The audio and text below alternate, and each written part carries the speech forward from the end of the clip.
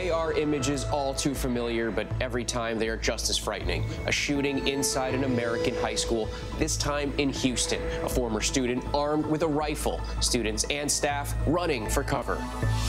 Friday Night Lights on Capitol Hill as divided Democrats try to hammer out an infrastructure deal. President Biden paying an afternoon visit to lobby his caucus. He says they'll get it done, but what will it take to get progressives to come along? A possible breakthrough in how we treat COVID 19. Drug maker Merck with promising new data for an antiviral pill that could slash the risk of hospitalization and death. We dig into the details, when it could become available, and what it may mean for the broader push to vaccinate the nation. The child care crisis. As a labor shortage takes hold and staffing plummets coast to coast, our closer look at the challenge. The families hit the hardest and what some child care facilities are doing about it. I'm sitting here watching my life's work perhaps dwindle away. And it's very sad. It's really very sad. Sailing Towards Success. It's a program that helps teens in foster care chart a new course for life. And school is in session on the high seas. We go on board in tonight's America Strong. When you're on a sailboat, you have no choice. You have to work together as a team. You have to build that foundation of a relationship. And Disney World at 50, a half century after the Magic Kingdom opened its doors to its first guests, a golden anniversary, and a major celebration.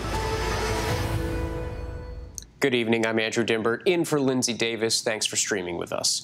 We begin tonight with all eyes on Washington and a high-stakes first Friday in October that featured plenty of lobbying, but no concrete resolution among divided Democrats. This is a live look at Capitol Hill, where the sun has set without a vote on a $1 trillion infrastructure bill to fund the nation's roads, bridges, and highways. It was just before 4 p.m. that President Biden arrived on Capitol Hill to do something he did for 36 years as a senator negotiate, in this case within his own caucus, behind closed doors. Less than an hour later, he emerged, giving a thumbs up and a fist pump and vowing, quote, we're gonna get it done downplaying any disarray but offering no timetable for action.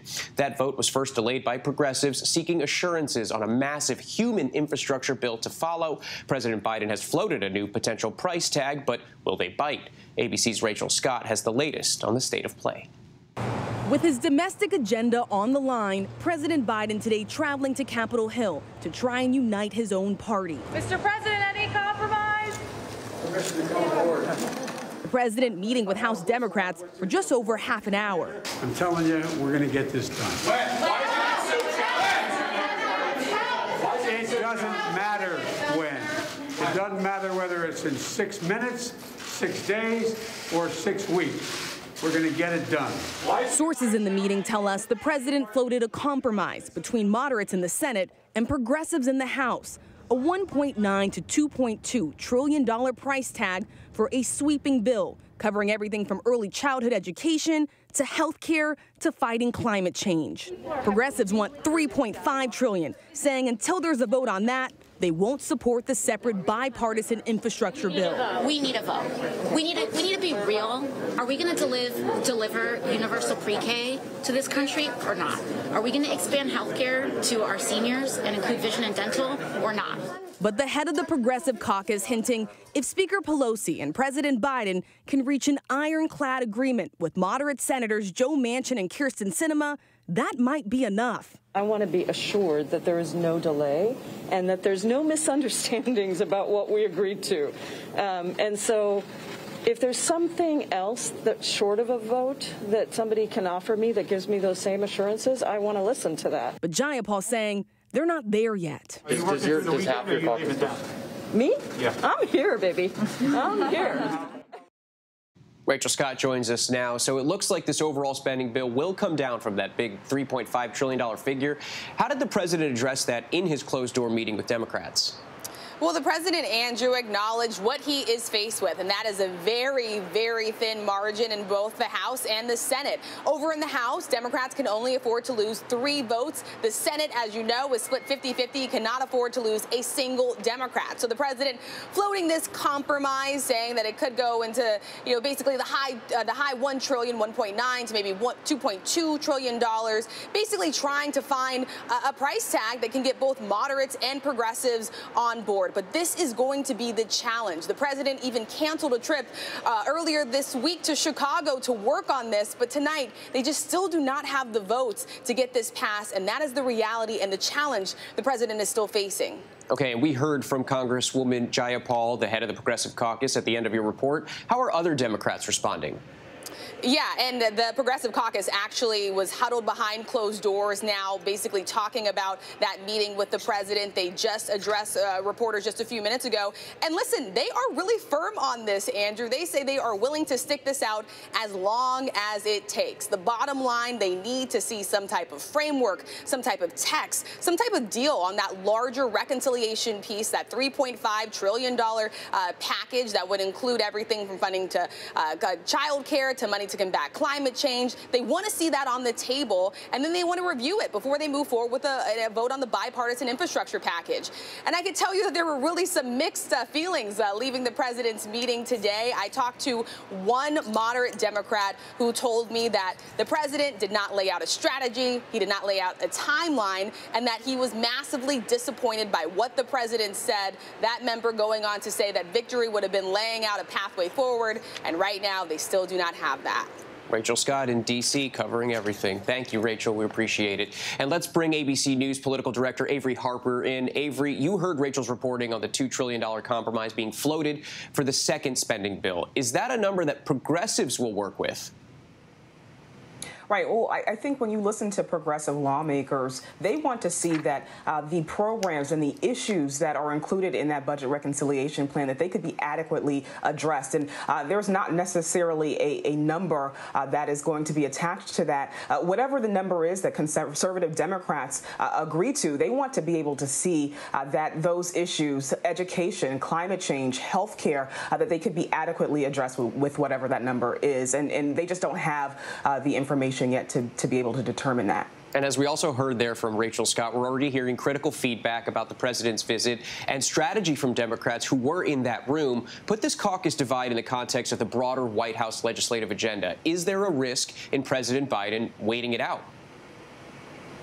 Right. Well, you know, Democrats often talk about being a big tent. We've seen uh, the the deep fundamental philosophical differences between uh, some of those conservative Democrats and, and members of the Progressive Caucus. Uh, you know, this is a major piece of Biden's agenda, and if it doesn't get done, if this bipartisan infrastructure deal doesn't pass, uh, if the budget reconciliation plan doesn't pass, while uh, Democrats have control of the White House, uh, the Senate, and the House of Representatives, Democrats run the risk of looking incapable of governing, and, and that could have consequences during midterms. And with so much focus on the Democrats trying to figure out their next move, I've got to ask, what are Republicans saying tonight?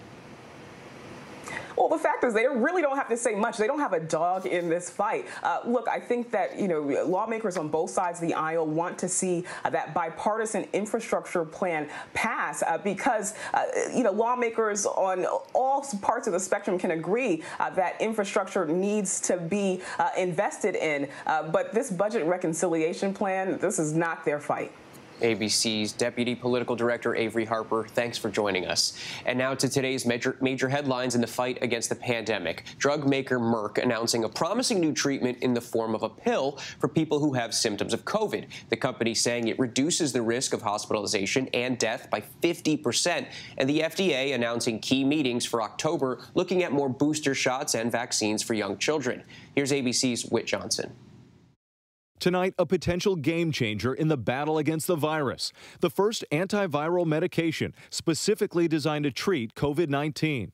Pharmaceutical giant Merck announcing that trials show its new drug, Molnupiravir, may cut the risk of hospitalization or death in half. This is a pill. You can take it home and will significantly reduce the risk that you either ultimately are hospitalized or, more importantly, that you would ever fa- face the unfortunate uh, outcome of death. The drug course consists of four pills taken every 12 hours for five days, beginning soon after testing positive. The trial included 775 patients with mild to moderate COVID who had at least one risk factor for severe disease. After 29 days, no deaths reported in patients who received the drug, compared to eight deaths in patients who got a placebo. The drug also appeared to be effective against variants of concern like the Delta strain. To take something which is such a devastating disease like like COVID-19 and, and hopefully turns it into something that's manageable. Merck saying the results of their phase three trial were so promising, they ended it more than a month early with support from the FDA and plan to apply for emergency use authorization within days. The news uh, of the efficacy of this particular antiviral is obviously very good news. They will be submitting their data to the FDA imminently. Uh, the data are impressive. While other treatments like monoclonal antibodies require patients to be infused at a hospital or clinic, these pills would only need a prescription and could be taken at home. Data on two more antiviral drugs from Pfizer and Roche are also expected in the coming months. But health officials insist they are not replacements for the vaccine. Vaccination is our best defense against COVID 19. We have the scientific tools needed to put an end to this pandemic. Across the country, a sweeping push for vaccine mandates. California today becoming the first state in the nation to require the vaccine for all students as soon as it gets final FDA approval for each age group. We want to end this pandemic. We are all exhausted by it. The governor pointing out that schools already require multiple vaccines for diseases like measles and mumps, saying vaccines work. And in New York City, despite protests and a last minute appeal to the U.S. Supreme Court, which was denied, time running out late today for school staff to get vaccinated or lose their jobs by Monday. It wasn't an easy decision because, you know, I'm giving up first and foremost how I support my family. You know, I'm, I'm a single mom. Still, the city's saying 90% of school employees now have at least one shot. This mandate has worked, and the goal was protect, to protect kids, including our youngest kids who can't be vaccinated yet. And tonight, word of another breakthrough infection. The Supreme Court confirming Justice Brett Kavanaugh has tested positive for COVID 19. He's been vaccinated since January and is currently showing no symptoms. Whit joins us now. And Whit, going back to that decision from the Supreme Court on whether they would block the vaccine mandate for teachers in New York, what was the decision? Andrew, we're learning it was Supreme Court Justice Sonia Sotomayor who denied that request for an emergency injunction against New York City's vaccine mandate for school employees. She has the power to make that call because she oversees the Second Circuit, including New York. Sotomayor did not release a statement, and she did not refer the matter to the full court for a vote. Andrew? Whit Johnson, thank you. I'm joined now by Dr. John Brownstein, Chief Innovation Officer at Boston Children's Hospital and an ABC News contributor. Thanks for being here, Doctor. Now, we've heard the word breakthrough a lot today about this new treatment from Merck. If the data holds up, just how significant could this be to have an oral pill that helps fight COVID? Yeah, thanks, Andrew. I actually think this is a huge advance in our fight to counter COVID take a pill for five days and reduce your chances of hospitalization. You know, what Merck found was essentially hospitalizations were cut by 50% in high risk individuals, older or obese or those with cardiovascular disease. And that was true for across all variants, including Delta. And we know that these antivirals have worked for other diseases. And so we're seeing this, you know, being applied to COVID. And the fact is that this trial was stopped early because it was deemed unethical to proceed because of the amazing impact that this drug could have. So, you know, there's a lot lot to think about here in terms of its rollout. You know, you need to implement this drug within five days of symptom onset. Um, but the, the idea is if you can get this drug to people, it will make a really big impact in our battle against COVID. And we know there are still billions of people around the world who have yet to get any vaccine. So, what could this pill mean globally for containing the pandemic and for addressing some of those inequity issues that we've seen around the world treating and preventing COVID? You know, I think it could be a game changer. You know, Merck expects to produce millions of doses. And, you know, I think this will mean, you know, broader access. We do have to consider pricing here in the US. You know, the vaccine itself is about $39. The treatment is about 700. So we do have to be concerned about affordability and accessibility to everyone here in this country. But I do think, you know, Merck is uh, signing agreements with other countries and thinking about pricing that is tiered to make sure that this drug is more accessible across the globe. And that's great. And, you know, drug is interesting because it's easier to manufacture, store, and access than vaccines. But I do have to point out the vaccines are still our weapon against this pandemic, and we have to keep focusing on vaccine equity and accessibility. But you know, this drug is incredibly exciting. Which leads to my next question, because here in the U.S., we're still experiencing vaccine hesitancy. Is there a concern that those that are still resisting getting vaccinated might just say, hey, if there's a pill that can cut hospitalizations and deaths in half, why do they need to get the shot? You know, it's a really good question, and it's one that I'm concerned about. This issue that you know this drug will undermine the vaccine rollout and lead to hesitancy. You know, we have tens of millions of people in that wait and see category, or they're just choosing not to get the vaccine.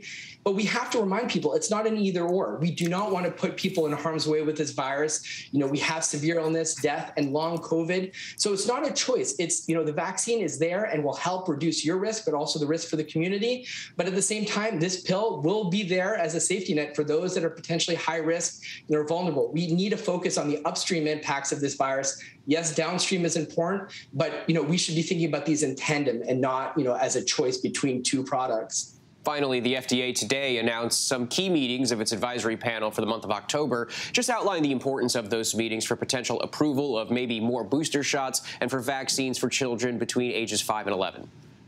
Yeah, the FDA is going to have a very busy October. Uh, we, of course, you know, a number, millions of people that have had the Moderna vaccine or J and J are waiting to see about boosters, and so on October 14th, they'll be looking at Moderna booster potential. Uh, on October 15th, they'll be looking at the one-dose J and J shot and whether that needs a booster. I think likely we'll see, you know, authorizations there. There's going to be studies around mixing and matching. A lot of questions about whether you had one vaccine, can you take the other? And I think the biggest, you know, question is going to be on October 26th with a meeting around that vaccine for five to 11 year olds. And, you know, this is exciting because, you know, the FDA is already thinking about meeting even ahead of the submission of data by Pfizer. So, you know, this idea that you could get potential, you know, authorization ahead of Halloween is feasible. I think likely it could still take weeks. And remember, this is an advisory group that then, you know, has to go to the FDA to approve it and then CDC to, to really refine recommendations. So it could take a few weeks after that October 26th, but, you know, it's really exciting that, you know, potentially end of October or into November, we'll see shots in the arms of younger kids and get that protection that we've all been waiting for. Of course, we have to see the data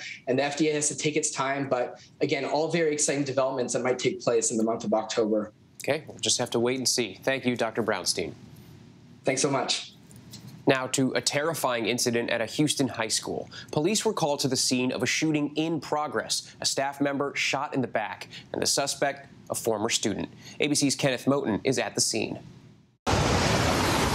Tonight, scenes of panic at this Houston school. Just before noon, reports of an active shooter on the campus. There's a man with a gun in the school. Police say the gunman, identified as a 25-year-old former student at Yes Prep Southwest, was armed with a rifle and shot his way into the school. The front door, it's a glass door, was locked. He gained entry by shooting through a glass door and immediately fired upon uh, one of the uh, employees of the school. That employee, the school's principal, was struck in the back, rushed to the hospital in serious condition. Police in tactical gear swarming the scene. We got shell casings inside. So we're up against a rifle. Anybody coming in this building, make sure you got your plates and helmets. Within minutes, police confronting the gunman, who they say surrendered immediately. More than a thousand middle and high school students evacuating with their hands up. Anxious parents there to meet them. I got her. I got her. It's a blessing. Because as you can see, she shook up too. I just want to get her home, get her safe, and just love on her. Kenneth Moton joins us now. And Kenneth, any updates on injuries and also a possible motive? Well, Andrew, still no motive from the police, but they are still investigating. We've also learned that while no students were injured, that one shooting victim, a school administrator, was actually the principal of this school. We understand from our ABC station here in Houston, KTRK, that he is expected to survive and he could be released from the hospital by tonight. Now, we also know that the students here they just went through an active shooter drill two days ago. Andrew? Kenneth Moton there in Houston. Thank you. When we come back, the deadly midair collision and the investigation into how a small plane collided into a helicopter. A beautiful story, just the type we need on a Friday. We travel to a school down in Florida helping foster kids learn to sail. But up next, what do you do as a parent when your critical childcare quits? It's happening across the country as the great resignation is now causing a crisis in many homes. Our in-depth look next. All right, here we go. You ready? Let's do it. Yes, it's the show America wants and America needs right now. This is What Would You Do? Let's go. How are you? Yeah. So, what will you be watching Saturdays on ABC News Live? What would you do? Hey, I guess I just found out. the What Would You Do Marathon, 12 to 6 Eastern, every Saturday on ABC News Live.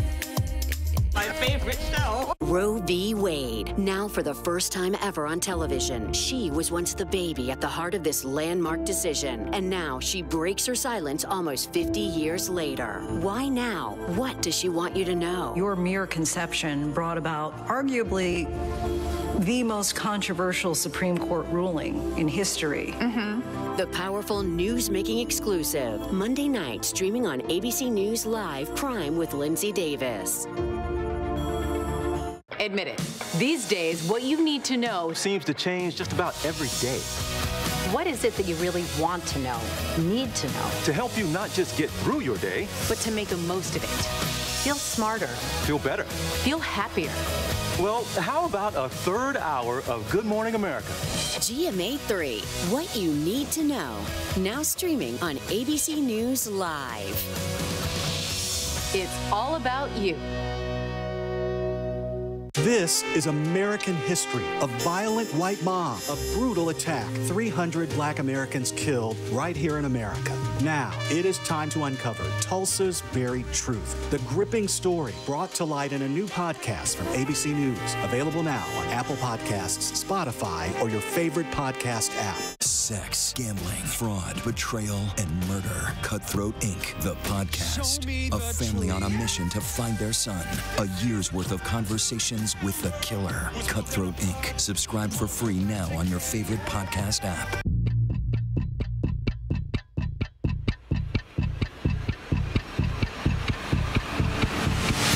Twenty-four hours. Assault on the Capitol. The ABC News original. Exclusively on Hulu. Now streaming. Now, with so much on the line, more Americans are turning to David Muir and ABC's World News Tonight than any other program across all of television. Take a look at this body cam rescue in New York City Thursday. NYPD officers responded after a teenager fell off a railing into the East River in Manhattan and was having trouble staying above the water. Fortunately, the officers were able to pull the teen to safety.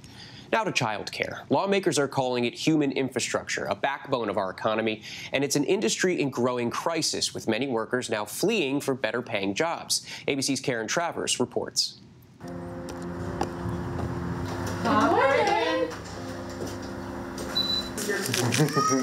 Leslie Spina has run Kinder Academy in Philadelphia for nearly three decades. She says she's now facing challenges she's never seen before. This is the first time in 27 years that we've had classrooms that are set up and children who want to go in those classrooms and classrooms empty because we don't have the staff in them. There is a childcare crisis in this country. The biggest issue, hiring and retaining workers. The childcare industry is down more than 125,000 workers nationwide, a more than 10% drop from pre-pandemic levels. Just since June, more than 10,000 childcare workers have left the industry, many taking jobs with increasing wages. Childcare providers are in the bottom 2% of wage earners across the country. Mandy Crozier has worked for Kinder Academy for 20 years. She says she understands why people are leaving her industry. Who wants to come into this field right now? Like, no way. When you're seeing signs at Wawa will pay you $15, $17 an hour, I don't have to worry about children who need extra love, extra attention. Who would come here, honestly? The median wage for a childcare worker is just $12.24 an hour. Is that worth it to be to be struggling this much, to be having to call my family and ask for help with rent? Lauren Nickerson is a former childcare worker from Florida who this year shifted to a job as a second grade teacher. She says she loved her job, but for nine years she was living paycheck to paycheck. When I first started, I was being paid minimum wage. Um, luckily, at the time, I was still living at home by parents. Anytime I'd ask for a raise, they'd be like, that's not possible. No one in this industry gets paid that much. Leslie Spina is trying to change that. While she pays her entry level staff a market rate, around 10 to $12 an hour, she offers health, dental, and vision benefits, a retirement plan, mental wellness care, a rarity in her field. Still, she wishes she could do more. We're talking about highly qualified professional teachers who are making salaries um, that are ridiculous and shameful. We should be ashamed. I would be so happy if we could pay people a living wage where my teachers with two children didn't qualify for food stamps. But raising fees isn't a feasible option. The majority of families that send their children to Kinder Academy are working class. It's very important that we are here and open and reliable because when they miss work, they don't get paid. Carnina Ginyard sends her four year old to Kinder Academy so she can work as a home health aide for her mother. I wouldn't be able to work if I didn't have the proper child care. Um, I feel Neve is safe where she is at Kinder Academy. Um, that's number one for me. American families are on average spending about 13% of their income to pay for childcare costs for a child under five. It's very costly for parents. And then you hear how low the wages are. And I think the obvious question then is, you know, so where is the money going to? 50 to 60% Uh, of a childcare provider's budget goes to personnel, goes to wages. That is not the same for just about any other industry out there. That 50 to 60% amounts to a high child to adult ratio so that we have enough adults to take care of children. In Nebraska, North Platte Kids Academy board director David Peterson said the $11 an hour wage they were able to offer just wasn't competitive with other businesses, so they struggled with staffing. In August, Peterson and the board made the difficult decision to shut down. We talked about raising the, the rates that we charge, which we can do, but it starts to become a very cyclical thing because that negatively affects families that can't afford or don't believe they can afford more than that. That closure impacted Rosario Torres, a single mom to her kindergarten daughter and her one year old foster daughter. Finding another daycare in town that was open and also open to take a toddler was a lot harder because a lot of our daycares aren't taking children because they don't have enough staff or they have to reduce staff for the pandemic. Over 50% of all Americans live in childcare deserts, in communities where there's an insufficient uh, supply of childcare. Add on, you know, this huge drop in childcare providers, and we're we're seeing that um, families can't get to work. And for many families, it's women who are bearing the burden. More than 1.6 million moms of children under 17 left the workforce during the pandemic and have not returned. Childcare is a key component of President Biden's Build Back Better agenda. We need to bring costs down with a significant public investment in our childcare industry. His ambitious domestic policy plan would put $225 billion toward childcare over the next 10 years, funding for childcare providers, raising the minimum wage for childcare workers to $15 an hour, and ensuring no middle class families pay more than 7% of their income for childcare. The plan also calls for universal free preschool starting at age three. Congress is locked in fierce negotiations over the Build Back Better agenda.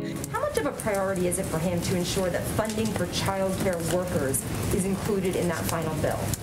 Well, clearly it was a part of his initial proposal. He recognizes uh, the role that child care workers, many of whom also have challenges that are preventing them from the, them from being in the workforce. Republicans broadly oppose the president's Build Back Better plan because of the roughly $3.5 trillion price tag. But early childhood advocates say this is a pivotal time to act. We have this historic opportunity to fix decades, really, of, of failed childcare policy.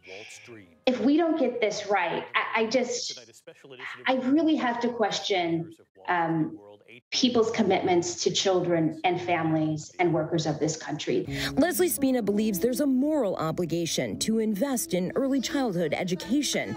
And as the political fight in Washington continues, she just hopes her business survives. I'm sitting here watching my life's work perhaps dwindle away. And it's very sad It's really very sad. And I hope that that's not what happens.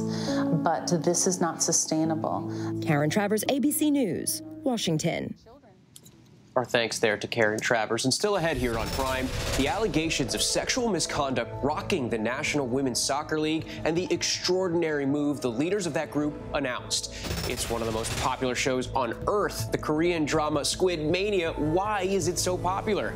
And happy birthday, Disney World. We take a look by the numbers. But first, our tweet of the day. Speaking of birthdays, one president wishing the oldest living presidents one of the best wishes, and so do we. Happy birthday, President Carter.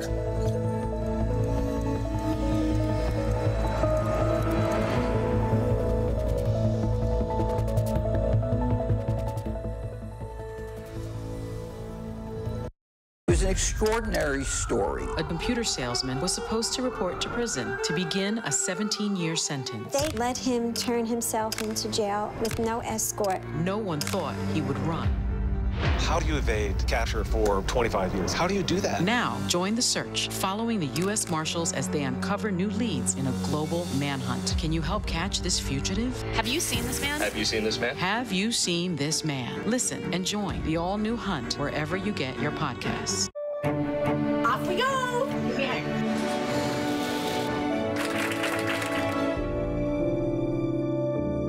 This September, across ABC News, the resilience, the strength, overcoming challenges, coming together. This is ABC News, America Strong. This September.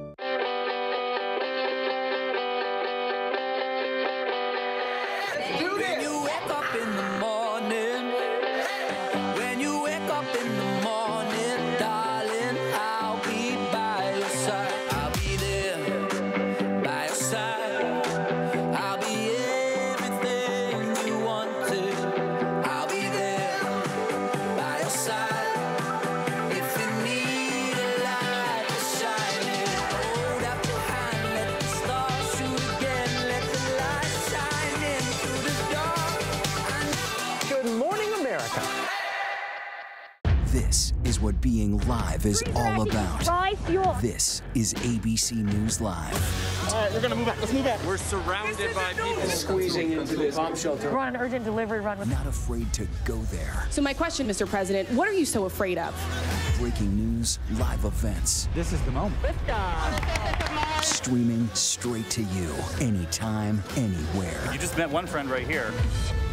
You're watching ABC News Live. Thanks for streaming with us. Roe v. Wade, now for the first time ever on television. She was once the baby at the heart of this landmark decision, and now she breaks her silence almost 50 years later. Why now? What does she want you to know? Your mere conception brought about arguably the most controversial Supreme Court ruling in history. Mm-hmm. The powerful news making exclusive. Monday night, streaming on ABC News Live Prime with Linsey Davis. Now to a birthday half a century in the making. Tonight, we're celebrating Walt Disney World Resort. Disney is the parent company of ABC News. Here's a look by the numbers. Exactly 50 years ago today, Walt Disney World Resort officially opened to guests. The year was 1971. To celebrate, Disney World is putting together an 18-month event featuring new attractions, nighttime spectaculars, and more. About 58 million visitors a year. That's how many people come to Disney World, making it the most visited vacation resort on the planet, according to the company. Disney World covers 43 square miles. That's about the size of San Francisco and two times the size of Manhattan. Back in the mid 1960s, that entire area was purchased by Walt Disney for just $5 million. 70,000 Disney cast members work at the resort, making it the biggest single site employer in the United States. Eight. That's how many times Disney World has had to close in its 50 year history for Hurricanes Floyd, Charley, Frances, Jeanne, Matthew, and Irma after 9 11, and most recently during the COVID pandemic. And lastly, Mickey Mouse was the first cartoon character to ever receive a star on the Hollywood Walk of Fame. And as we all heard in a welcome video when we started at this company, his entire enterprise began with a mouse. And we still have a ton to get to here on Prime. The mother's frantic 911 call after her 14 month old falls into a manhole. You will hear the chilling audio. And the fashion mogul agreeing to be extradited to the U.S. on sexual assault charges. But first, a look at our top trending stories on abcnews.com.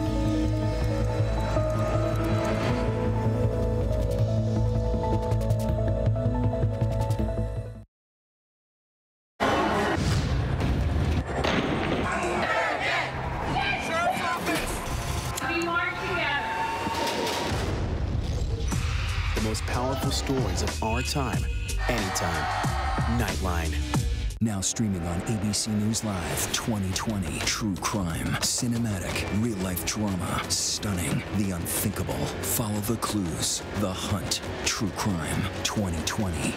Now streaming on ABC News Live. Admit it. These days, what you need to know seems to change just about every day. What is it that you really want to know, need to know? To help you not just get through your day, but to make the most of it. Feel smarter. Feel better. Feel happier. Well, how about a third hour of Good Morning America? GMA 3, what you need to know. Now streaming on ABC News Live. It's all about you. All right, here we go. You ready? Let's do it. Yes, it's the show America wants and America needs right now. This is What Would You Do? Let's go. How are you? Yeah. So, what will you be watching Saturdays on ABC News Live? What would you do? Hey, I guess I just found out. the What Would You Do Marathon, 12 to 6 Eastern, every Saturday on ABC News Live. My favorite show. This is what being live is all about. Your- This is ABC News Live. All right, we're gonna move back. Let's move back. We're surrounded by people squeezing into this bomb shelter. We're on an urgent delivery run with. Not afraid to go there. So my question, Mr. President, what are you so afraid of? Breaking news, live events. This is the moment. Streaming straight to you, anytime, anywhere. You just met one friend right here. You're watching ABC News Live. Thanks for streaming with us. Roe v. Wade. Now, for the first time ever on television, she was once the baby at the heart of this landmark decision. And now she breaks her silence almost 50 years later. Why now? What does she want you to know? Your mere conception brought about arguably the most controversial Supreme Court ruling in history. Mm-hmm. The powerful news making exclusive. Monday night, streaming on ABC News Live Prime with Linsey Davis.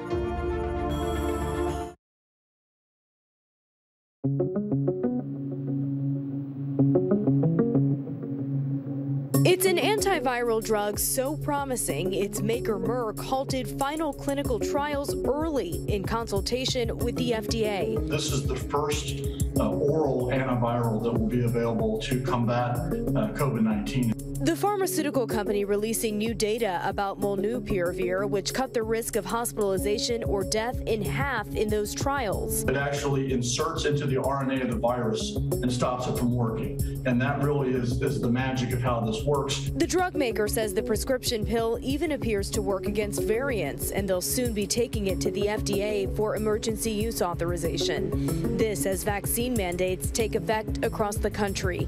California announcing the nation's first statewide shot requirement for school children ages 12 to 17 following full FDA approval. Which will give us time to work with districts, give us time to work with parents and educators. The Supreme Court says Justice Brett Kavanaugh has tested positive for COVID 19. The court says Kavanaugh is experiencing no symptoms and that he and his family have been vaccinated. Well, for the first time, we are hearing the frantic 911 call made by a mother in New Jersey after her son tumbled down a manhole. Henry!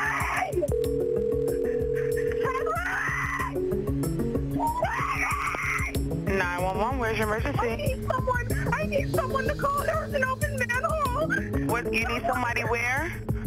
There's an open manhole. I'm in Union, New Jersey. Ma'am, give me an address. Ma'am? Henry! What's going on? My son fell The one-year-old boy falling through that open manhole in Kawameeh Park in Union last week, tumbling some seven feet into raw sewage. His mother jumped in and managed to pull the boy out before he was swept away by the water rushing into the hole. Um, they did find two fatalities in that aircraft. Authorities are investigating a deadly mid-air collision in Chandler, Arizona. Two people were killed when a small plane and a helicopter collided near the Chandler Municipal Airport this morning. The chopper crashing, bursting into flames with the two victims on board. The plane was able to land safely on the runway. No one on the plane was hurt. The airport has been closed down for takeoffs and landings, uh, and we're waiting the arrival of NTSB and the FAA to turn the investigation over to them. Do you understand the significance of this document that you signed, Mr. Nygard? yes, I do. Canadian fashion designer Peter Nygard agreeing to be extradited to the U.S. to face a series of assault charges in New York, sexual assault charges. Nygard facing six counts of sexual assault and various other charges. Prosecutors say during a 25-year period, the 80-year-old used his company's influence and money to forcibly confine and sexually assault dozens of women and girls. He's facing similar charges in the Bahamas and Canada. He has always unequivocally maintained his innocence of any wrongdoing. Still no winner in the ever growing Powerball jackpot. Ahead of tomorrow night's drawing, the jackpot is now an estimated $635 million, or 450 million for the lump sum. It's now the sixth largest Powerball jackpot in history, but not even the largest this year. In January, a group in a small town in Maryland won $731 million. The odds of winning Saturday's jackpot? 1 in 292.2 million. Now to the upheaval in the National Women's Soccer League. They've called off all games this weekend after two coaches were fired amid allegations of misconduct and abusive behavior. The reaction pouring in tonight. Here's ABC's Erielle Reshef. Tonight, the National Women's Soccer League canceling all games for the weekend. Two prominent coaches fired amid allegations of misconduct. Paul Riley, head coach of the North Carolina Courage, facing accusations of sexual harassment from several players. Those allegations first surfacing in The Athletic. Players Sinead Farrelly and Mana Shim going on the record, accusing Riley of making unwanted sexual advances. Other players accusing him of inappropriate comments about players' weight and sexual orientation. Riley denying the majority of the allegations in an email to The Athletic, writing, I have never had sex with or made sexual advances towards these players. Earlier this week, the former head coach of the Washington Spirit, Richie Burke, who had been suspended by the team, also fired after an investigation into allegations of verbal abuse of players. Burke had stepped down as coach in August when the allegations first surfaced. Soccer stars like Megan Rapinoe slamming the league, tweeting, Burn it all down, let their heads roll. Julie Foudy, two time Olympic gold medalist and minority owner of the Angel City Football Club, speaking out. This is a time of reckoning for this league, honestly, in terms of how they deal with it and how they stand up for the players. Andrew, the league is now acknowledging that this week has been traumatic for both the players and staff. FIFA, the global governing body of soccer, is now launching an investigation into those claims of sexual harassment. Andrew? Erielle, thank you. And turning now to the Netflix Korean drama that has fans around the world obsessed. The show, Squid Game, has a rare 100% critics rating on Rotten Tomatoes, and it's number one on Netflix in 90 countries. So why is it so popular? ABC's Juju Chang has the story.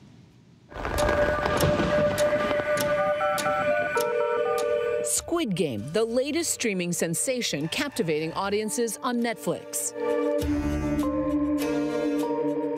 The Korean drama series, with its dazzling, vivid visuals accompanied by moments of stunning violence, is not morning TV friendly, to say the least. I would describe Squid Game as a little Hunger Games esque but even more violent. Squid Game is about a group of down on their luck contestants forced to compete in life or death versions of classic children's games, like Red Light, Green Light, with the promise of millions of dollars at stake for the winner.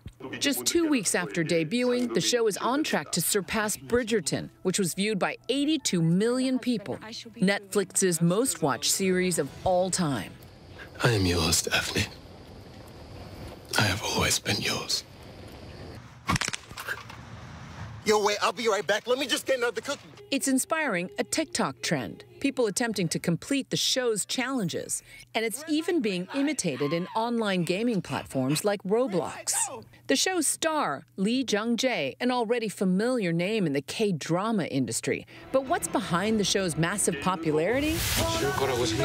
Korean TV shows and movies, along with other cultural exports like K beauty and K pop, have been gaining widespread appeal in the U.S. When you saw the success of Parasite and, and, and how it won the Oscar and, and how people really uh, you know tuned in to the story of economic inequalities and, and the way that story was told through uh, horror elements, it is a unique way to tell those stories, and I think there's an appetite for it. The themes and brutal subject matter of Squid Game resonating with viewers who may be looking for an escape from a world that sometimes feels out of control. We watch things that make us uncomfortable because it removes us from the uh, problems that we're having.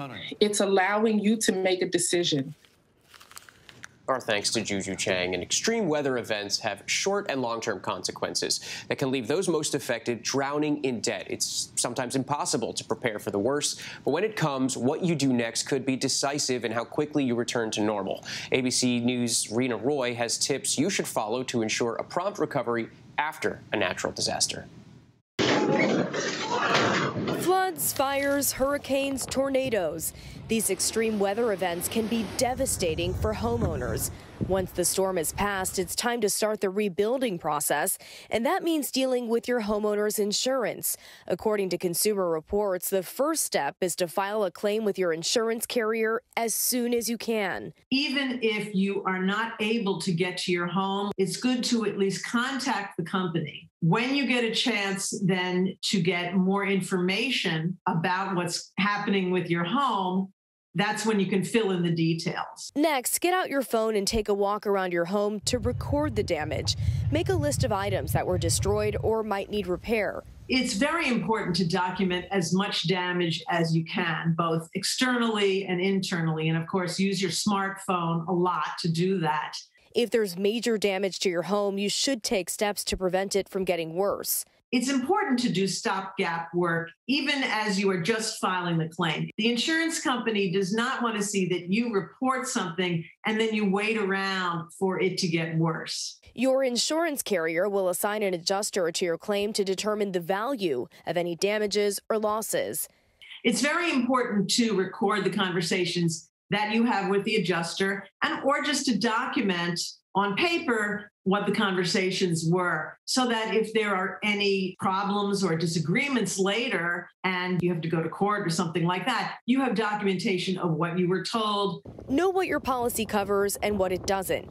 Coverage plans vary, and the differences may affect what payments you'll get. And finally, be patient. It can be a very trying process. It can take some people a very long time to get everything restored and just have patience and uh, document everything. Reena Roy, ABC News, New York.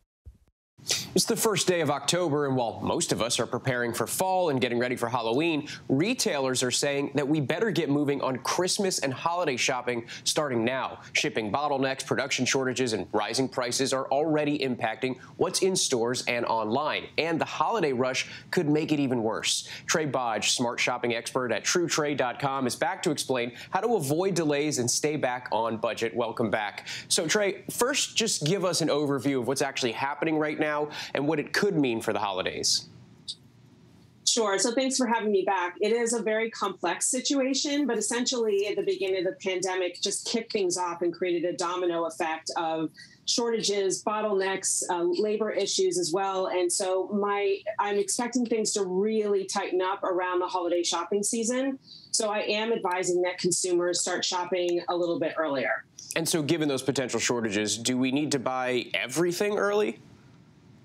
Thankfully, not. So, the things I would focus on right now are very specific items. So, for instance, if a child on your list wants a toy, for instance, that they saw on a hot toy list, or if a teen looks for something on TikTok and it's trending and they want that item, those are the things that I would buy right now. If you have more general things like, you know, bags of coffee or candles or blankets, things like that, I think you'll be fine to buy those general things a little bit later in the season. Now, what if our viewers just don't have the money in their budget to shop so early and are still saving up for holiday shopping? Right. So again, I would focus on those very specific items right now. And you know, many credit cards offer you the opportunity to spread out your purchases over a few months interest free. So I would look at that. And then also many major retailers like Amazon, Macy's, Bloomingdale's, Walmart, they offer buy now, pay later services. And each one of those services is a little bit different. So you want to read the fine print and see if they're charging you interest or not, or what happens if you default on the payment. But that's another option option to spread out your financial outlay right now now. And I want to follow up on my last question. So, how do you suggest saving money if you're buying before all those holiday sales start up? Sure. So, of course, if we're buying right now, we're not taking advantage of those great holiday sales like over Black Friday and Cyber Monday. But there are a lot of tools that I would recommend that people use to save before the holiday shopping season starts. So, I work with a bunch of these platforms. There are a couple that I'll share with you. If you're shopping online, I would recommend Rakuten. They have a browser extension called the Rakuten Cashback button. And once you install it, it alerts you to available cashback. It compares prices for you, it runs coupons for you at checkout. So that's an easy way to save while you're shopping online. And then if you're shopping in store, try another company that I work with called Coupon Cabin. I like their smart uh, smartphone app because they have an in-store tab that you click on. It'll let you know if there are available savings that you can use right at checkout. But there are lots of tools like this. Uh, you can look at Slick Deals and uh, Retail Me Not, Honey, lots and lots of great ones. So definitely use it one at least one smart shopping app on your phone and one browser extension on your computer. I'm a Honey user myself there. And finally, what are the best backup options if you can't find what you're looking for or you do end up leaving everything until the last minute? Sure. So there are a lot of great digital gifts out there. So, for instance, subscription boxes. I'm a big fan of those, and you can get a subscription box for a recipient with uh, with wine, with coffee, with clothes, with toys. There are so many great options there, and you can buy one month or three month or six month. So that's a really good option, especially for your last minute shopping. And I also love digital gift cards. Uh, you can buy those and get them very very quickly, and you can even personalize them. There's a company I work with called PerfectGift.com, where in just a minute or so, you can create a personalized gift card with your own photo or artwork on it and a personalized message. And those ship in a day or two. So even if you're pushing things until the very last minute, you have lots of great digital options to check out. It's October 1st, but we're already talking holiday shopping. Thank you, Trae Bodge, our smart shopping expert at TrueTrae.com. Thanks for having me. And finally, here, a breath, a breath of fresh air for some Florida teens in foster care. Sail Future has been teaching economically disadvantaged kids in the Tampa Bay area how to operate sailboats since 2013, and now they've recently launched a free private high school with a unique curriculum aimed at equipping teens with the skills and resources necessary to achieve life and achieve financial independence. It's tonight's America Strong. All right, before we can light these engines up, what do we got to do? Check coolant levels. 16 year old Bobby Bias didn't always have the answers. Up until last year, he'd never even been on a boat.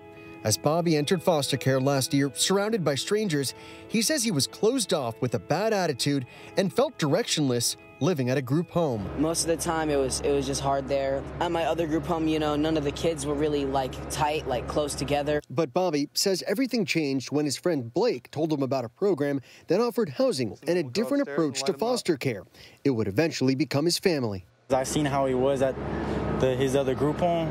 Now I like I look at him as a little brother. When I moved in here, I feel like I had a support system. I feel like I had people that really cared about me. Bobby says his life has been changed by Sail Future, an innovative program looking for ways to get troubled teens engaged, most notably through sailing. Trust and relationship building. When you're on a sailboat, you have no choice. You have to work together as a team. You have to build that foundation of a relationship. Michael Long is the man behind the organization. It started off in 2013 when he volunteered to run an after school sailing program for teens at risk of being expelled from their schools. Today, the program has morphed into a new co ed, tuition free private entrepreneurship high school that recently opened in St. Petersburg, with high hopes of teaching students how to think critically and solve real world problems. Sailing is just one part of their hands on curriculum. Just as we use sailing as a vehicle to teach leadership, teamwork, trust, respect, we've used construction to do the same. The project-based nature of the education is what allows them to grasp the concept that the common standards want us to teach. It's just doing so in a different way. It may bounce off Tyshawn's forehead. STEM instructor Marvin Peoples taught in Florida's public education system for 15 years before coming to Sail Future. He says even though lesson planning can be challenging, he's never had this much undivided attention from students. They definitely show um, greater interest, uh, greater and, and interest. progress. Absolutely. I wasn't as really as efficient as teachers um, when we were teaching to a standardized test or or having them memorize something that they don't have any interest in. And um, this right here was just a different opportunity. With its recent launch, the school is all digital. Textbooks and lesson plans come from computers, and there are no letter grades. Students instead get detailed, personalized feedback on where they're struggling and excelling relative to Florida state academic standards. College isn't necessarily the goal for these kids upon graduation, it's financial independence. Students must come from households living under the poverty line to qualify for admission at Sail Future, which is funded by government vouchers and private scholarships. For students that want to go into college, um, they're going to be just fine. For students that want to go on to become small business owners, they've got the, the skills and the experiences and the network to go on and do that day one. Pretty much right there. I'm 16. I have construction all day today. So right now we're trying to build a, like a small business and we're building benches. I wanted to be a computer engineer, so they started making me do JavaScript and stuff like that, getting me on coding, and, and that's pretty hard.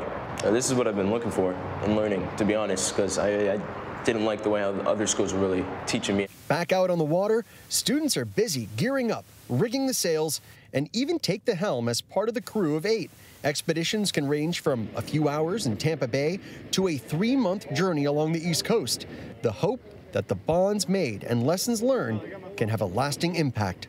Uh, two kids in my house that lived with me in my other group home. We used to argue a lot, and now we argue about who can sail better. I didn't know what I want to do. Now I want to be a captain, chartering boats like this. CEO Michael Long says it's that turnaround of Bobby's mindset and so many other Florida teens that put Sail Future's mission into perspective. He was once a troubled teen himself who lived on a sailboat out of necessity. We are quite literally breaking these cycles of poverty and abuse and paving step by step pathways to economic freedom and social mobility. And uh, I can't think of anything better to be doing with my time and energy. For ABC News, Victor Oquendo in St. Petersburg, Florida. Our thanks there to Victor Oquendo. And before we go tonight, the image of the day. It was Media Day in the fourth tallest building here in New York. They're calling it the Summit. It's a new glass bottom and mirrored observation deck, 1,000 feet in the air. It looks beautiful and terrifying at the same time from this pic. I don't know. I'll probably check it out. Why not? That's our show for this hour. Stay tuned to ABC News Live for more context and analysis of the day's top stories. Thanks for streaming with us.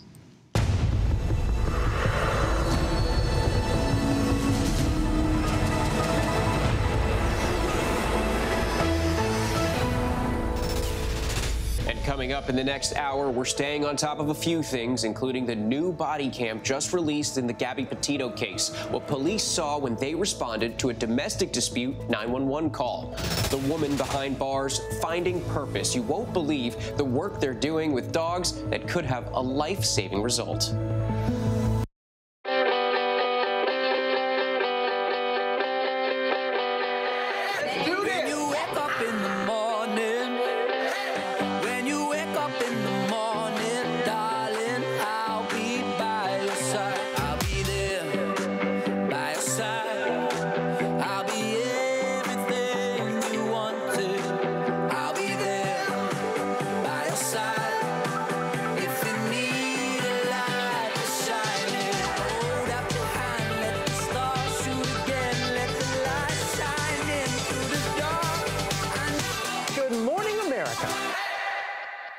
Extraordinary story. A computer salesman was supposed to report to prison to begin a 17 year sentence. They let him turn himself into jail with no escort. No one thought he would run. How do you evade capture for 25 years? How do you do that? Now, join the search, following the U.S. Marshals as they uncover new leads in a global manhunt. Can you help catch this fugitive? Have you seen this man? Have you seen this man? Have you seen this man? Listen and join the all new hunt wherever you get your podcasts. Admit it. These days, what you need to know seems to change just about every day.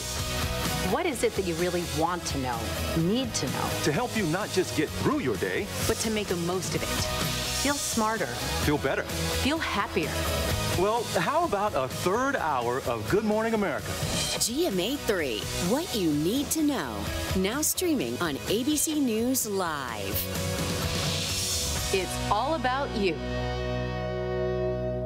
The ladies you love, the hottest topics happening now. There's only one place to find it all. You guys are having the hard conversations. I love The View. The most watched number one daytime talk show is The View. Now streaming on ABC News Live. More Americans choose ABC News, America's number one news source. Roe v. Wade. Now, for the first time ever on television, she was once the baby at the heart of this landmark decision. And now she breaks her silence almost 50 years later. Why now? What does she want you to know? Your mere conception brought about arguably the most controversial Supreme Court ruling in history. Mm-hmm. The powerful news making exclusive. Monday night, streaming on ABC News Live Prime with Linsey Davis. I'm Andrew Dymburt filling in for Linsey Davis. Thanks for streaming with us. We're monitoring several several developments here at ABC News at this hour. A former student opened fire inside a Houston charter school, injuring an employee. That employee was shot in the back and taken to the hospital in serious condition. No students were injured, and the 25-year-old suspect was taken into custody. In a case filed by the Justice Department, a federal judge today questioning the legality of Texas's restrictive abortion law that was enforced just last month. The judge called the design of the Texas law that doesn't make exceptions for rape or incest very unusual. The judge did not indicate how he would rule. Scarlett Johansson and Disney have settled the Black Widow lawsuit the star filed back in July. The suit claimed that the studio sacrificed the film's box office potential in order to grow its Disney Plus streaming service. Disney countered that Johansson was paid $20 million for the film. All eyes are still on Washington and those negotiations over the major spending bills on nation's roads, bridges, and highways, and on addressing health care, child care, and climate change. President Biden made a trip to Capitol Hill today to meet with Democrats, saying he's confident they will reach a deal, but there will be no vote tonight. ABC's Rachel Scott has the latest. With his domestic agenda on the line, President Biden today traveling to Capitol Hill to try and unite his own party. Mr. President, any compromise? The president meeting with House Democrats for just over half an hour. I'm telling you, we're going to get this done. It doesn't matter when. It doesn't matter whether it's in six minutes, six days, or six weeks. We're going to get it done. Sources in the meeting tell us the president floated a compromise between moderates in the Senate and progressives in the House. A 1.9 to 2.2 trillion dollar price tag for a sweeping bill covering everything from early childhood education to health care to fighting climate change. Progressives want 3.5 trillion, saying until there's a vote on that, they won't support the separate bipartisan infrastructure bill. We need a vote. We need to, we need to be real. Are we going to deliver, deliver universal pre-K to this country or not? Are we going to expand health care to our seniors and include vision and dental or not?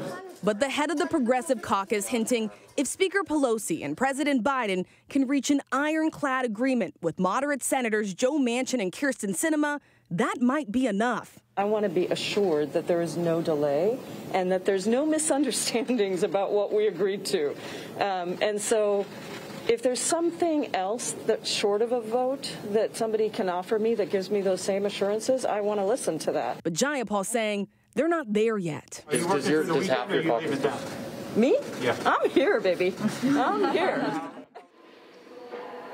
And House leadership aides tell us tonight that there will not be a vote on the bipartisan infrastructure package tonight. The House is now scheduled to go on recess for two weeks, uh, leaving that bipartisan infrastructure vote up in the air at this point. I talked to one member leaving the meeting after President Biden's uh, meeting here on the Hill today. Uh, that member told me that they are frustrated, that there's no timeline, that there's no strategy, and after weeks of negotiations, they are not any closer at this point to reaching a deal. Andrew? All right, our thanks to Rachel tracking it all. Switching gears now, another potential weapon in the fight against COVID 19 could soon be on the way, with drug maker Merck releasing promising new data on a treatment for the virus. This as many across the country fight vaccine mandates, but some who have survived the disease are urging them to take the shot. ABC's Whit Johnson has more. Tonight, a potential game changer in the battle against the virus. The first antiviral medication specifically designed to treat COVID 19. Pharmaceutical giant Merck announcing that trials show its new drug, Molnupiravir, may cut the risk of hospitalization or death in half. This is a pill. You can take it home and it will significantly reduce the risk that you either ultimately are hospitalized or more importantly, that you would ever face the unfortunate uh, outcome of death. The drug course consists of four pills taken every 12 hours for five days, beginning soon after testing positive. The trial included 775 patients with mild to moderate COVID who had at least one risk factor for severe disease. After 29 days, no deaths reported in patients who received the drug, compared to eight deaths in patients who got a placebo. The drug also appeared to be effective against variants of concern like the Delta strain. To take something which is such a devastating disease like, like COVID 19 and, and hopefully turns it into something that's manageable. Merck saying the results of their phase 3 trial were so promising, they ended it more than a month early with support from the FDA and plan to apply for emergency use authorization within days. The news uh, of the efficacy of this particular antiviral is obviously very good news. They will be submitting their data to the FDA imminently. Uh, the data are impressive. While other treatments like monoclonal antibodies require patients to be infused at a hospital or clinic, these pills would only need a prescription and could be taken at home. Data on two more antiviral drugs from Pfizer and Roche are also expected in the coming months. But health officials insist they are not replacements for the vaccine. Vaccination is our best defense against COVID 19. We have the scientific tools needed to put an end to this pandemic. Across the country, a sweeping push for vaccine mandates. California today becoming the first state in the nation to require the vaccine for all students as soon as it gets final FDA approval for each age group. We want to end this pandemic. We are all exhausted by it. The governor pointing out that schools already require multiple vaccines for diseases like measles and mumps, saying vaccines work.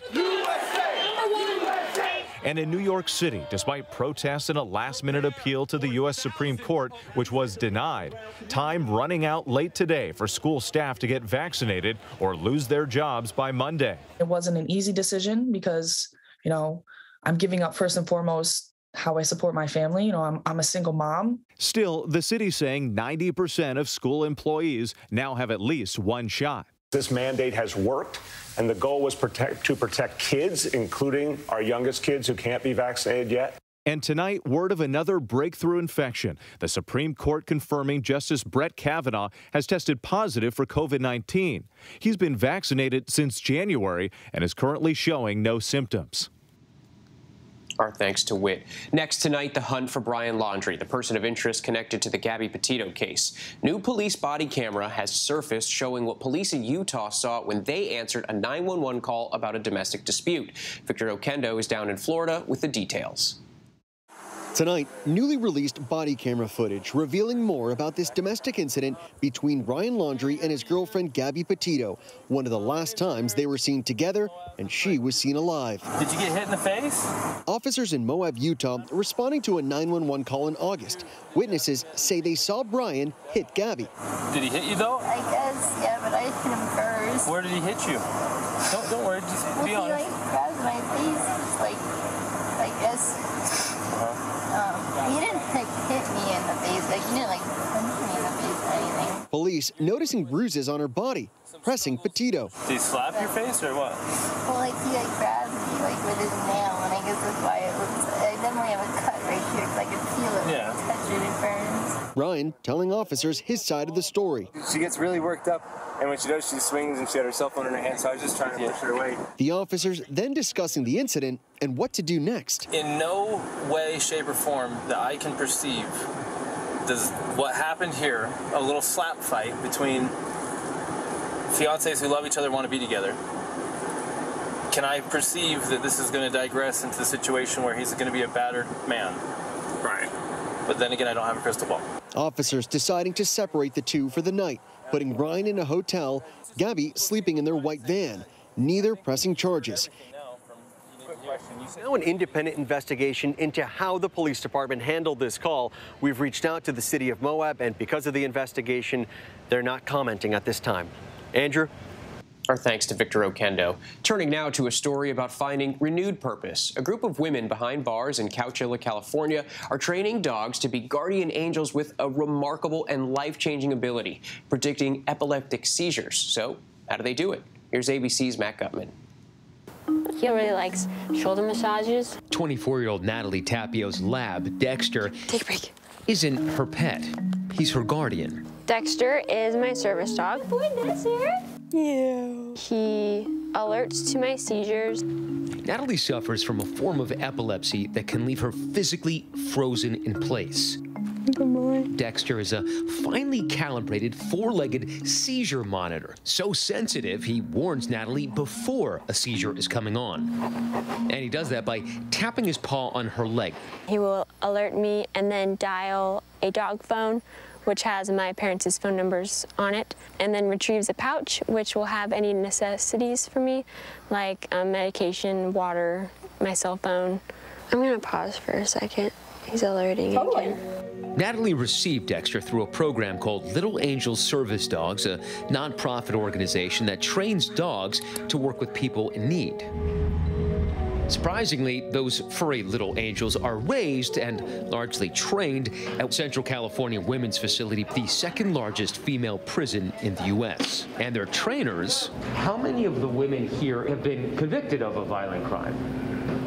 So basically everybody. The program is called PUPS, short for Pups Uplifting Prisoners' Spirits. It's as much about rehabilitating those inmates as it is training their furry charges. This isn't just about training a dog. These are training service dogs that save lives. Amy Davis, a lead trainer in the program, is serving a life sentence. I have done something that landed me in prison that was horrible. I participated in a robbery murder. During that time, I was in a what I thought was a very unhealthy relationship. I was on drugs and I was very broken and lost. She says the PUPS program has restored her sense of self worth. When that eight week old puppy weighing 20 pounds was put in my arm, it was like every wall I put up to protect myself, every wall I thought I had, it just melted. Good boy, Oh, good boy. Inmate Nanette Packard likens it to having an infant. When you have that dog, it's like an umbilical cord. What you're feeling, they feel, especially when they're puppies. Amber Ingram is the group's lead trainer. She's been an inmate for 10 years. Tell me what you were convicted of. Well, I was convicted originally of um, child endangerment resulting in death for my five-year-old son, Braden. Sorry. Um, later on, a couple months later, I got um, charged with second-degree murder for not protecting him. Her then boyfriend, Eduardo Zamora Jr., had been violently abusing her son. And I got a phone call from my boyfriend at the time, and he basically said, My son's not breathing. And I said, What did you do? That was my initial reaction. What did you do? And um, he had um, beaten my son to death. Zamora was convicted of first degree murder and sentenced to 23 years to life in prison for the death of Amber's son. And yet you got convicted of second degree murder? Yes.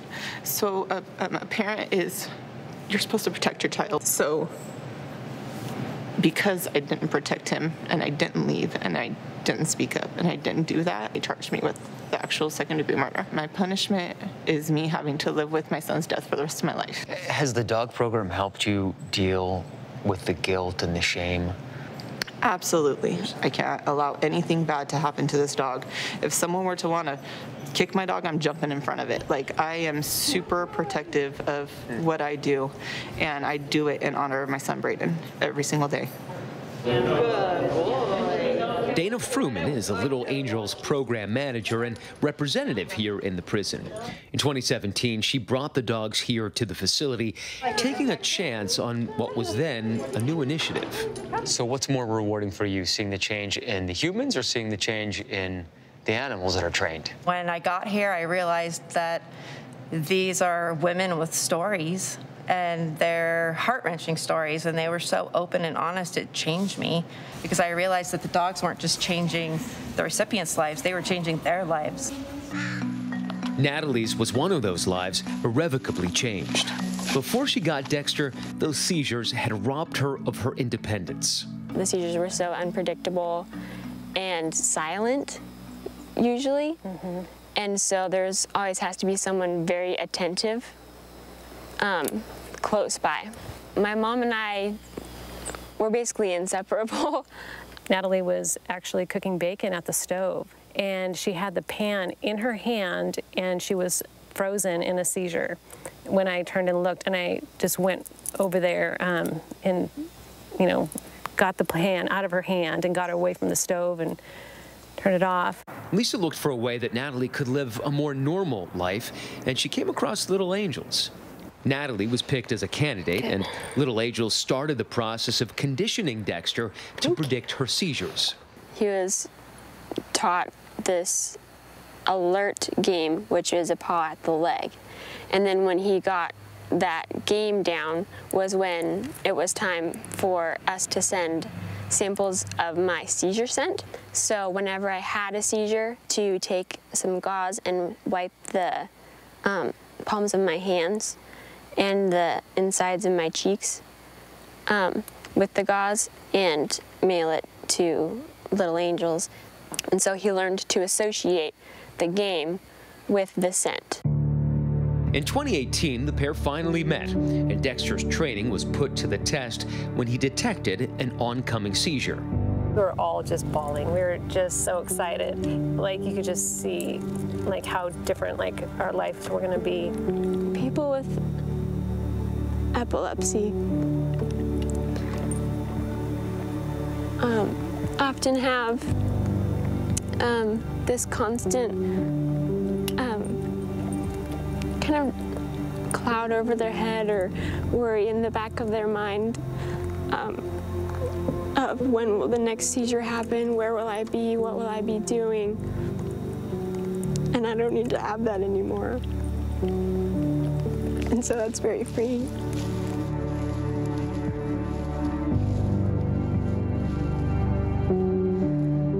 Our thanks to Matt for that powerful report.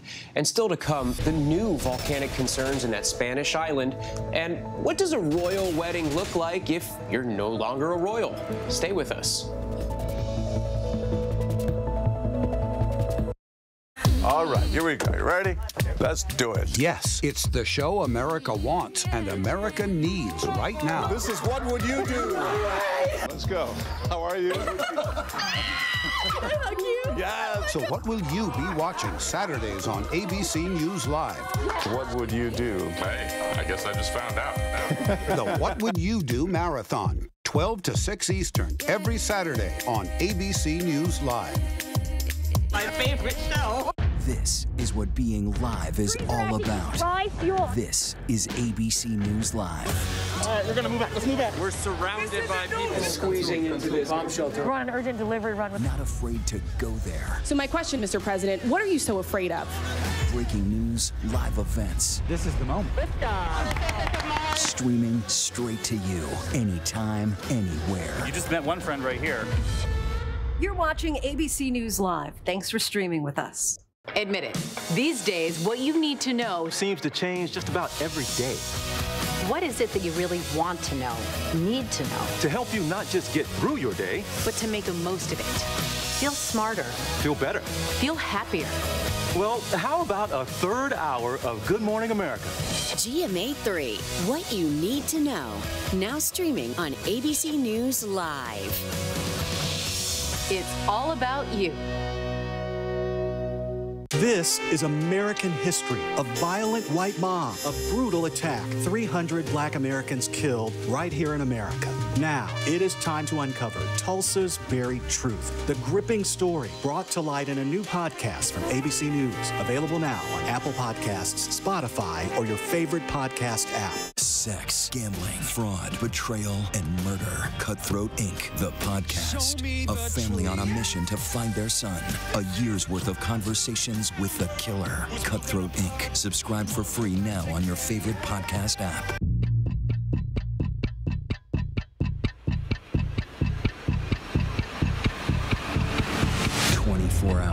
Assault on the Capitol. The ABC News original, exclusively on Hulu. Now streaming. Now, with so much on the line, more Americans are turning to David Muir and ABC's World News Tonight than any other program across all of television. We're tracking several international headlines at this hour. The volcano erupting in the Canary Islands for almost three weeks now just won't let up. Officials warning the biggest tragedy is ahead with new fissures opening last night and one of the lava paths heading straight towards a populated village in La Palma. Already 1,000 structures have been affected, 1,200 more are at risk.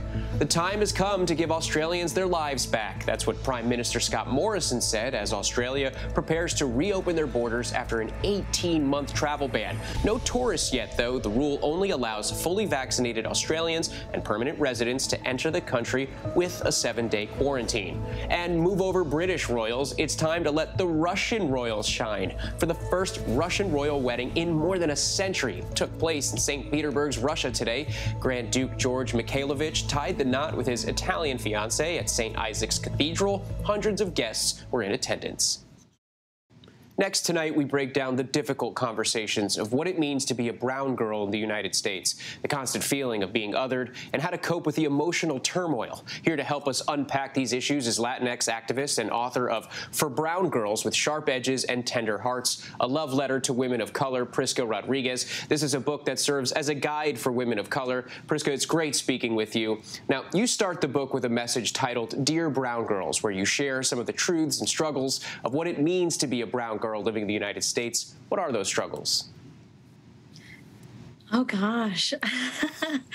I think it's the struggles of being a person of color, the struggles of um, not reading white. And so, what it means in a white supremacist society to function, to attempt to thrive, to, you know, get them into school, get jobs, get married. It it just looks just a little bit different than it would if you're white. And we are oftentimes just fed this white narrative as the everyone narrative.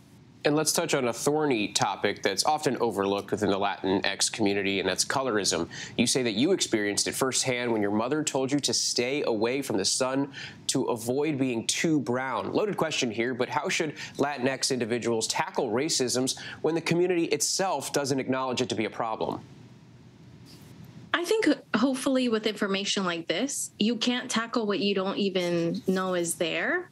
So I give an exhaustive bibliography and notes in the back with a lot of references. If you're a statistics person, if you like graphs, go there to seek that information.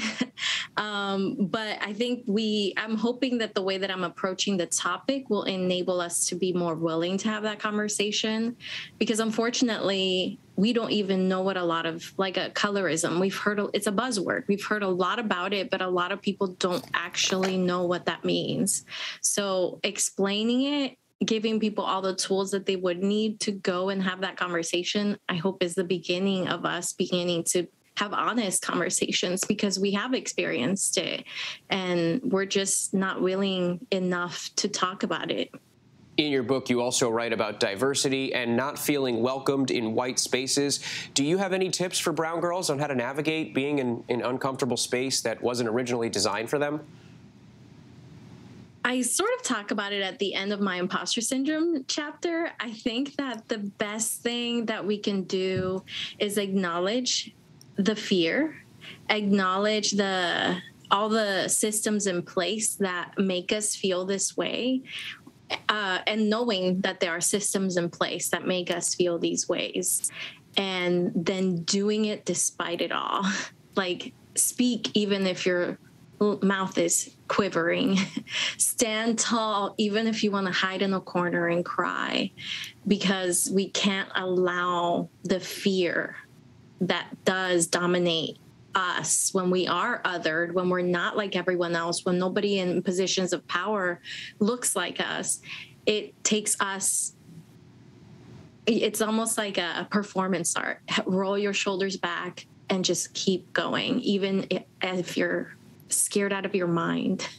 You touched on it there a little bit imposter syndrome and brown girls feeling that way in the work place. You called it an internalized oppression, a cycle of playing catch up and blaming ourselves for something we have no control over. Could that way of thinking be crippling? Uh, unpack it for us, if you will. So the term imposter syndrome is an actual psycho uh, psychotherapy term. It is a term that is valid enough that it has it has been in it's 1983 I think is the book that begins that conversation. So it is a very real term. It does impact people specifically if you're if you weren't part of like the initial working community like men, white, straight, able-bodied men dominated the workplaces in the United States for years before women went in there, before people of color went in there, before Black people went in there specifically. So it is a very real term, and I try to break that down. I give you all the tools to know the history of it. And also, once you know the term, it gives you so much language. I have named my imposter syndrome posse. so that when I see her coming, I feel the doubt because it's there pretending it's not there is is not the solution it's better to just see it acknowledge it and then move on despite it that i think that we can actually move forward and your book is also a celebration of brownness, along with healing and being resilient. You end the last chapter saying, Brown girl, this world does not want to see you survive it, so defy it and dare to thrive. What message do you want to leave readers with? I want them to feel inspired to find each other, to find to give this book to their families, to have new conversations that maybe they weren't encouraged to have. I want them to sample from my fearlessness. I want, I just, I know what I I was a person that read Judy Blume at 12 years old and thought I was like this is all I have so I have to attach myself to this and this represents me. and it didn't. So I hope that this book provides that representation from somebody that looks like y'all and then gives you somewhere to start. It we we we don't have a book like this and I hope that with it we can move Thank you, Prisca.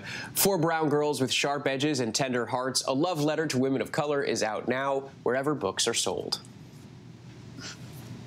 And finally, before we go tonight, a celebratory milestone. It's the 50th anniversary of Walt Disney World Resort, and Ginger Zee is there bringing us a behind the scenes look at all the magic that's in store. It's Walt Disney World's most magical celebration. A new dazzling iridescent glow on icons transforming at night into beacons of magic. Take a selfie with these new golden sculptures popping up in all four parks. The all-new Kite Tales, taking some of our favorite characters to new heights. I've got Adrian and Miles, my boys, with me. You ready? Yeah! First stop, Epcot at the reimagined France Pavilion, inspired by the flavorful world of the movie favorite Ratatouille. Taste check, spoon down! One, two, three. Let's go see what Chef Remy's got cooked up. Come on, let's go, let's go! Woohoo! Mommy, wait for me. We're off to Remy's Ratatouille adventure. Ratatouille!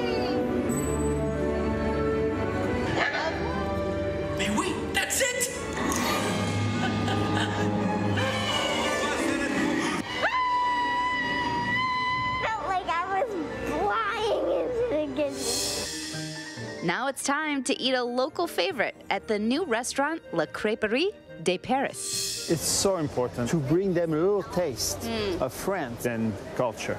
Bon appetit! Behind this door is one of the most highly anticipated attractions, Guardians of the Galaxy Cosmic Rewind. Cameras haven't been in here until now. Ready? Let's do this. Something extra special about this specific uh, attraction starts backward. It does. This is Disney's first reverse launch coaster. And then another piece of it is, is that we can now rotate you to any direction. Want to really meet the excitement and the energy and the scale of these Guardian of the Galaxy movies, and hopefully doing that here too for all of our guests. That was awesome! Powerhouse Christina Aguilera kicking off the 50th festivities. The Disney magic comes to life with two never before seen nighttime extravaganzas.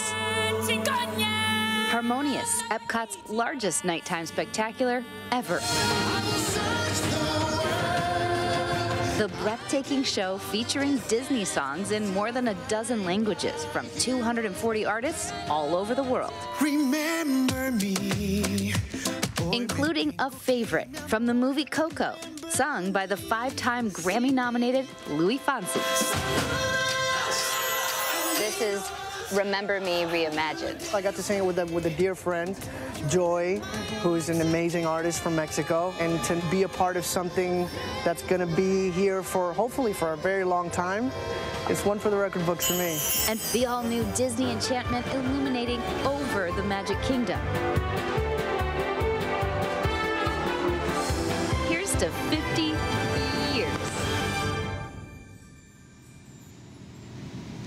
Our thanks to Ginger, and Disney is the parent company of ABC News. That's our show for tonight. Stay tuned to ABC News Live for more context and analysis of the day's top stories. I'm Andrew Dymburt. Thanks for streaming with us.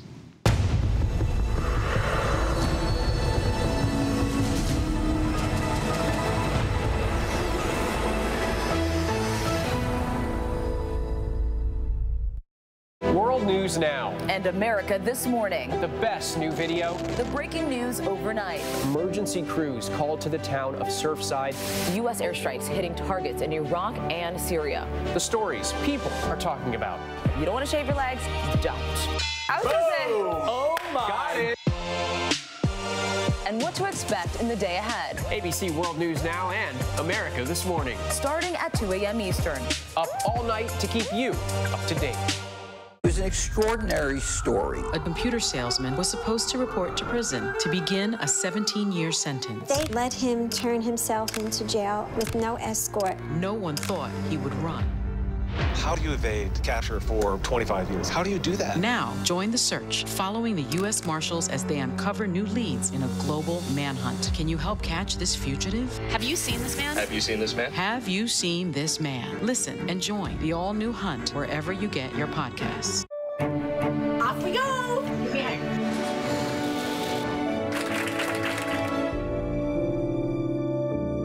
This September, across ABC News, the resilience, the strength, overcoming challenges, coming together. This is ABC News, America Strong. This September.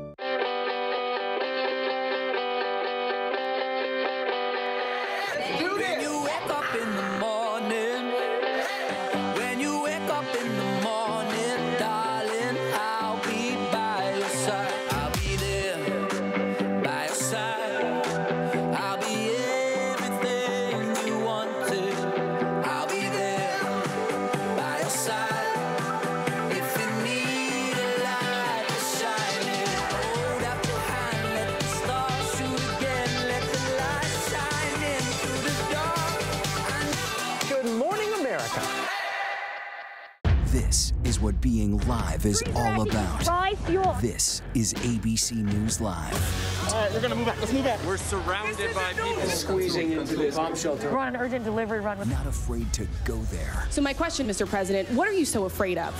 Breaking news, live events. This is the moment. Streaming straight to you, anytime, anywhere. You just met one friend right here. You're watching ABC News Live. Thanks for streaming with us. We had to gut the kitchen out, literally gut it out. All these light fixtures were complete, are gone. All that, if it looks like dirt, it's not, trust me, it was roaches. So This is what's left at um. one of Catherine Esposito's rental properties in San Antonio, Texas.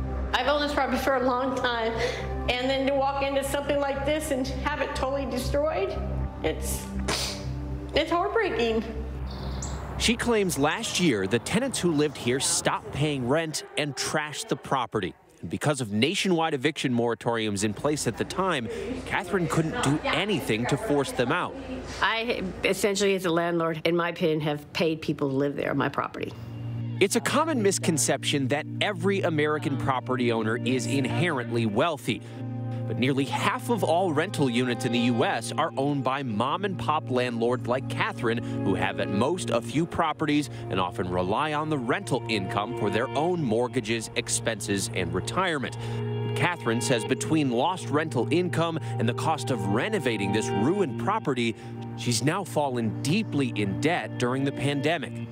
Financially, just in the house alone and the repairs, is going to run me probably close to 30, 20, 30,000 dollars. I have the kitchen cabinets that are in here right now. Um, they got totally destroyed. But she did seem to have a lifeline, turning to the state's emergency rental relief program, part of an enormous national pot of money designed to keep tenants and landlords afloat. In fact, since December, Congress has earmarked more than $46 billion for emergency rental assistance, or ERA. That money was turned over to states and localities to distribute. But by the end of August, across the country, only about 17% of it had made it into the hands of renters. There are millions of people out there who have no idea the program exists. The reason for this is because it's largely available online. We have not invested nearly enough in, in publicizing the program and making sure people know about it. And I would imagine the highest percentage of people who don't have access to the internet are people who are struggling to pay their rent. There's no question. ERA applications can be long and confusing, frequently requiring extensive documentation. It's intended to prevent fraud, but it inadvertently slows down the process. They have the authority to significantly simplify these programs, and they have to do that. You know, when somebody walks into a store, we don't ask them to prove that they're not going to shoplift. We literally know where these people live. And so I think we have to really give them the benefit of the doubt. Texas is one of the most effective states in rolling out its aid. Nearly 61% of its 1.3 billion rental relief dollars have been paid out. This is the bathroom. But Catherine says she was effectively shut out of the funds because her tenants didn't complete their portion of the application. And as a result, Catherine says she has had zero rental income here for about a year and a half. It is gross. The tenants did not respond to requests for comment. I paid the water bill for them so they could at least have the water to, you know, since they had three kids here. When they had the chance, they would pay me, reimburse me for it. Now, Catherine is doing whatever she can to make ends meet. I've mowed yards. I've done worked at a concession stand. I've delivered groceries. I've gone to the food pantry. I look at a nightstand. Instead of throwing it away, I'm like, okay, I can sell it for $10. That will buy me a box of mud to fix the house. With nowhere left to turn, she decided to sell one of her other properties. And because now there's no eviction moratoriums in place here, a new owner could force out Catherine's good tenants, like Mark, who she's known for years. It's just not fair. And um, it's hard to live with that. Some of these people I've gotten really attached to. I consider them like family. And to have to put them out is not, you know, it's not a good feeling. I've been on this property for like around 12 years. Mark says as hard as things got during the pandemic, he never missed a payment to Catherine. The ones of us that have been here for a long time have gotten kind of attached to this place, you know, and we've become friends with Kathy over the years. I wish somebody would could do something. The Texas Rental Relief Program tells ABC News missing federally required documentation creates the most significant delays, and processing time for applications usually takes 62 days. And remember, this program is one of the nation's most efficient. New York, meanwhile, has been one of the slowest states to distribute ERA funding. In fact, by June, it was the only state that had not distributed a single dollar of the federal money. In the case of New York, the state legislature sat on it for an unconscionable period of time, and um, they've been playing catch up ever since. And that's just a shame. It was not necessary. Anna Roman is waiting on that money. Have a good day. She's a single mom from the Bronx with four children, including an adult daughter with autism who Anna cares for around the clock. If you were to be evicted from your home, what would that mean for your life? I don't know. I don't know what to tell my daughter. What am I going to tell her? I messed up again? And Anna has already seen rock bottom. Nearly 30 years ago, she served time for multiple felonies and was homeless at one point, but she fought to turn her life around. And she says even prison and life on the street was easier than battling COVID 19 last year. You actually thought you might die. It felt like it. It really did. I've been shot. It was worse than when you got shot. Yes. When I got shot, I remember it just hurts and it hurts and it hurts. And I know that the pain's going to go away. But with COVID, when is it going to go away? I'm still a year later and I'm still in pain. Elena got to help other people. Bedridden for months, Anna fell behind. And now she owes about $9,000 in rent. Like Catherine, Anna turned to her state's rental relief program, which she found through a flyer at her church, something she saw as a miracle. I take total responsibility and I'm not asking for no handouts. When I was in that Bronx Works, it gave me a dignity. All the medical documents, this is my W-2. We have access to your email. Yes. Bronx Works is a community-based organization helping people navigate this complicated rental assistance application process. This is very typical of what we see, immigrant population, people whose English isn't their first language, just even uploading documents. Not everyone has a laptop at home. Not everyone has Wi-Fi at home. Shali Sharma oversees this delicate operation in one of the most underserved and low-income communities in New York. A lot of people in our community have history of shelter stays, and they're very risk, very high risk of becoming homeless. And so they're doing homelessness prevention here. BronxWorks helped Anna apply, but now 10 weeks later, her application is still pending. What kind of difference would that make for you if this were to come through? I would be the happiest leprechaun ever. I would feel like, wow, you know what? I'm, I'm blessed. There, there is goodness. New York has recently picked up its pace in distributing ERA money, to date dispersing $586 million to more than 45,000 landlords owed overdue rent. The state says getting relief money out the door as quickly as possible remains a top priority for our agency. And all renters in New York, like Anna, who have submitted a completed application, are protected from eviction while it's pending. But the clock is ticking. Starting October 1st, the Department of Treasury can take those billions in unused funds and redistribute it to local governments that have been getting out their aid more effectively. This seems to be a unique circumstance in that both the renters and the landlords want the same thing here. I'm not aware of any time in history when the interests of landlords and tenants have been so closely aligned. We have now a situation where the answer is not a moratorium. The answer is getting the money into the hands of the people who need it. There is a bill currently pending in Congress trying to expedite disbursements by allowing landlords to apply for back rent, increasing outreach about the rental relief program, and simplifying the application process. I can't, I can't create miracles. I can ask for one, but I can't create it. And in Texas, it's in that uncommon bond between tenant and landlord that Catherine Esposito is holding strong. You know, sometimes you just need a hug, and that's all it takes to keep you going. I just wish somebody was looking out for her, you know.